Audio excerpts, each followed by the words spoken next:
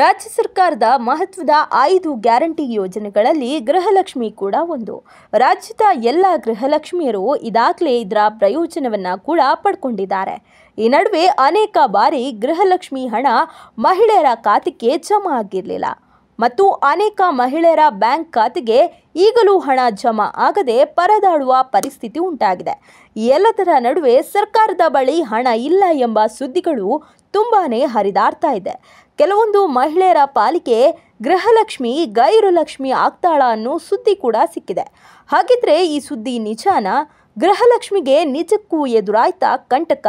ಹೇಳ್ತೀವಿ ಇಂದಿನ ಈ ಸ್ಟೋರಿಯಲ್ಲಿ ಗೃಹಲಕ್ಷ್ಮಿ ಪ್ರಾರಂಭವಾದಾಗಿನಿಂದ ಕಾಂಗ್ರೆಸ್ ಸರ್ಕಾರವನ್ನ ವಿರೋಧ ಪಕ್ಷ ತರಾಟೆಗೆ ತೆಗೆದುಕೊಳ್ತಾ ಇದೆ. ಅಲ್ಲದೆ ಈ ಯೋಜನೆಯ ಎರಡು ಕಂತು ಪಾವತಿಯಾಗದೇ ಇದ್ದದ್ದನ್ನು ನೋಡಿ ಈ ಯೋಜನೆ ಅಂತ್ಯವೇ ಆಯಿತು ಎಂಬ ಟೀಕೆಗಳು ಕೇಳಿ ಬರ್ತಾ ಇತ್ತು. ಆದರೆ ಕಾಂಗ್ರೆಸ್ ಸರ್ಕಾರ ಮಾತ್ರ ಯಾವುದಕ್ಕೂ ಕ್ಯಾರೆ ಅನ್ನದೆ ಯಾವುದೇ ಕಾರಣಕ್ಕೂ ಜಾರಿಯಾದ ಯೋಜನೆ ನಿಲ್ಲಿಸೋದಿಲ್ಲ ಎಂಬ ಆಶ್ವಾಸನೆ ನೀಡಿತು ಆದ್ರೀಗ ಸುಮಾರು ಎರಡು ಲಕ್ಷ ಮಹಿಳೆಯರಿಗೆ ಗೃಹಲಕ್ಷ್ಮಿಯ ಎರಡು ಸಾವಿರ ಸಿಗೋದಿಲ್ವಂತೆ.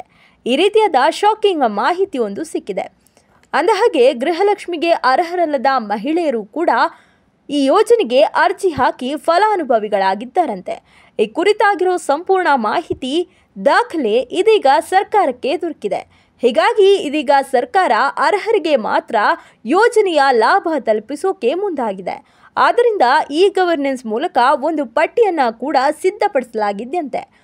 ಈ ರೀತಿಯ ಪಟ್ಟಿಯನ್ನು ರಚಿಸುವಂತೆ ಅಧಿಕಾರಿಗಳಿಗೆ ಸಚಿವೆ ಲಕ್ಷ್ಮೀ ಹೆಬ್ಬಾಳ್ಕರ್ ಸೂಚನೆಯನ್ನ ನೀಡಿದ್ದಾರಂತೆ.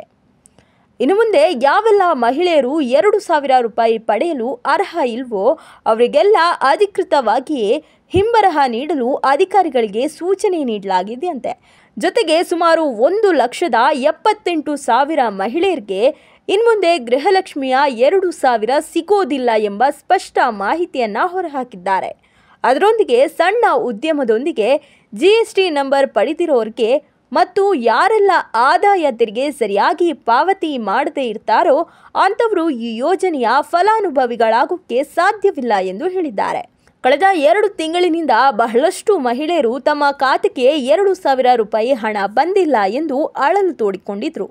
ಸಮಸ್ಯೆ ಏನು ಎತ್ತ ಎಂಬುದು ಯಾರಿಗೂ ತಿಳಿದಿರಲಿಲ್ಲ.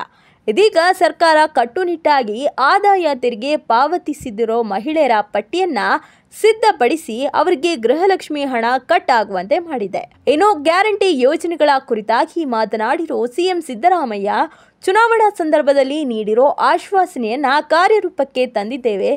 ಹೀಗಾಗಿ ಈ ಗ್ಯಾರಂಟಿಗಳನ್ನು ಯಾವುದೇ ಕಾರಣಕ್ಕೂ ನಿಲ್ಲಿಸೋದಿಲ್ಲ ರಾಜ್ಯದ ಜನರ ಬದುಕಿಗೆ ಆರ್ಥಿಕ ಭದ್ರತೆಯನ್ನು ಒದಗಿಸೋ ಕೆಲಸವನ್ನ ಸರ್ಕಾರ ಮಾಡಿದೆ ಎಂದರು. ಅಷ್ಟೇ ಅಲ್ಲದೆ ಇನ್ನು ಅನೇಕ ರೀತಿಯ ಕಲ್ಯಾಣ ಯೋಜನೆಗಳನ್ನು ನಾವು ಜಾರಿ ಮಾಡೋಕ್ಕೆ ಪ್ರಯತ್ನ ಪಡ್ತೇವೆ. ಆ ಮೂಲಕ ಆರ್ಥಿಕ ನೆರವು ನೀಡಿ ಆದಾಯ ಗಳಿಸೋ ಅನೇಕ ಚಟುವಟಿಕೆಗಳ ಕುರಿತಾದ ವಿಚಾರ ವಿನಿಮಯ ನಡೆಯಬೇಕಾಗಿದೆ. ಇಂತಹ ಯೋಜನೆಗಳಿಂದ ರಾಜ್ಯ ದಿವಾಳಿಯಾಗುತ್ತೆ ಅಂತಿದ್ದೋರಿಗೆ ಆರ್ಥಿಕ ಬೆಳವಣಿಗೆ ಸಾಧಿಸಿ ತೋರಿಸ್ತೇವೆ ಎಂದಿದ್ದಾರೆ.